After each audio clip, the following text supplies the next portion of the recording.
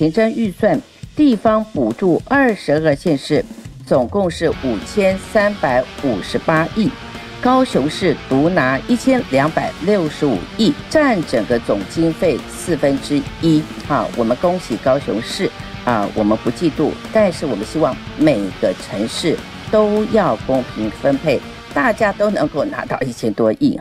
前瞻预算分配是否公平的问题，在此啊，台中市政府要很委婉的、很委屈的说明我们的立场。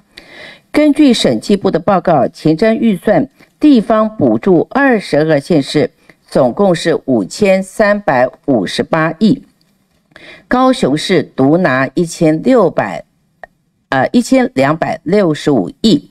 占整个总经费四分之一，哈，我们恭喜高雄市啊，我们不嫉妒，但是我们希望每个城市都要公平分配，大家都能够拿到一千多亿，哈。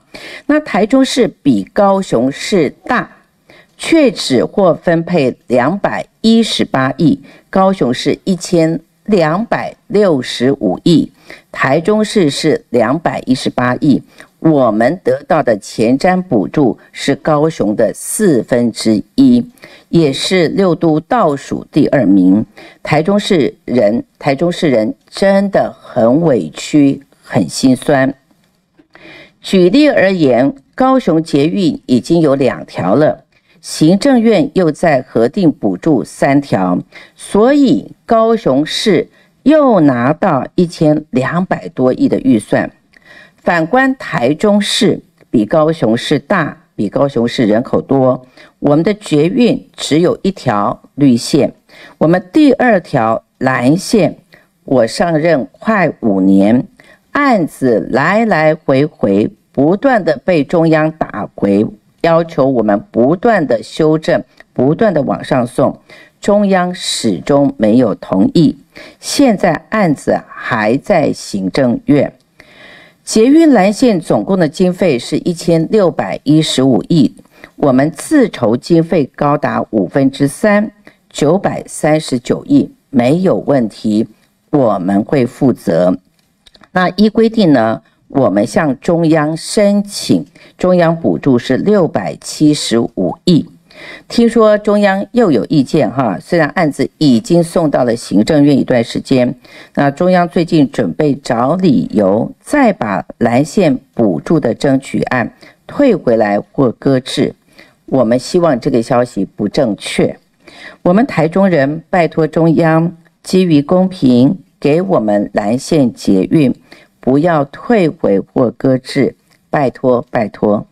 主席，因为之前您有批评过说轨道建设的这个执行率太低哦，那国发会说您提的是假数据，那今天民进党也会开记者会，那你怎么看呢？那就提了，请他们提供真数据嘛，哈，就是这个这个到底实际上完工几 percent 的，讲清楚。就像我以前哦，每次在在问那个社会住宅。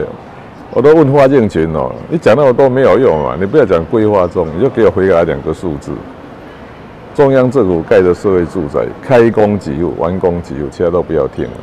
他所以说轨道建设也是一样，到现在为止，到底预算完成率哦几 percent 的？这啊你啊你不要讲一大堆，那混世太平，我啊讲讲数字就好。了。那民进党说打你交通平权，说轨道建设不用全开工，乡下要有乡下的样子，那你怎么？这种题目哦，还是按照科学嘛。轨道运输是这样，它有一定的标准嘛。单向每小时超过两万人哈，叫高运量哦。啊，每小时五千到两万是中运量，五千以下就不一定用轨道运输嘛，可以用公路来解决。特别是很快的哦，那个无人电动车就会出现。所以，所以整个整个轨道运输它有一定的标准嘛，所以一样。我们，我难道你也想要在玉山盖盖那个捷运吗？在阿里山盖高铁？哎，总是，所以，所以我也知道他这上一次我在电视上就知道苗博雅问这一题，我知道他用用这一招。他说：“啊，那你认为哪一条不用盖？”我跟你讲哦，当政府这个不敢决定，这种政府是无能政府的。那主席，你会不会觉得说这个前瞻建设，因为已经来到高雄，会不会觉得高雄占的比例太高，然后是不够高雄？重点不是那个比例太高，重点是执行的效率，还有他他该不该做，有没有那个我们英文叫 cost cost effective，就是那个成本效益要符合。所以老讲钱不是问题啊，重点是要符合成本效益啊。市长刚刚讲到前瞻预算有没有？高雄拿了一千两百六十五亿，那台北只有拿一百八十四亿，然后相差这么大，你有什么看法？还是那一样啦，我倒不觉得钱是钱的数额是问题啊，是那个钱该不该花，爱爱用的效果怎么样？该用还是用啊，但是不要那钱花下去是没有效益的嘛。还一点呢，还是要还是要还是要算那个成本效益的，这个政府还是要负责任，所以不要太多的政治干扰经济啊，这个。经济问题还是要经济思考啊，当然有一些有一些考虑城乡分配啊，那那当然要，但是你不要不要用政治完全扭曲经济的，这个还是不对。